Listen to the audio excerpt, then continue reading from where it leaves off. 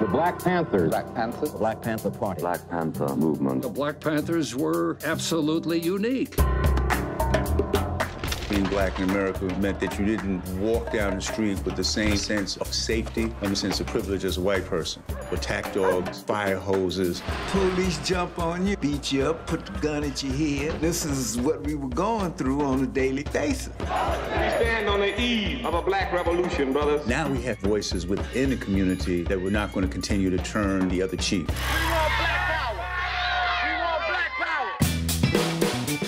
Second Amendment guarantees the citizen a right to bear arms on public property. We're going to carry our guns and we're going to follow the police. We're going to maintain a legal distance, ready to throw down if necessary. Anyone who would approve of this kind of demonstration must be out of their mind. God help me, These Gestapo pigs have to stop brutalizing our community or we're going to drive them out. The majority of the rank and file are women. We tried to change some of the clear gender roles. Women had guns and men cooked breakfast for children.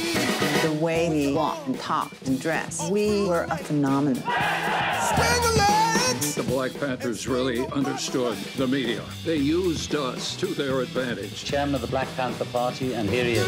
They tapped the phone. The phone is probably hooked up to the White House. You read the Black Panther Party newspaper? Yes, I do. Why? Because I'm black and I'm proud.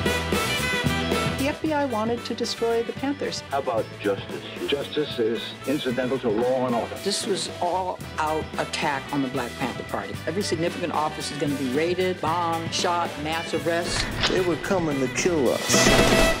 When the 15-minute gun battle was over, two Black Panthers were dead. This was obviously a political assassination. It was like a slaughterhouse. We were doing fundraisers at places like Jane Fonda's townhouse so that we could raise money for the Legal Defense Fund. There were 156 not guilty verdicts. It's astonishing. We don't hate nobody because of their color. We hate oppression.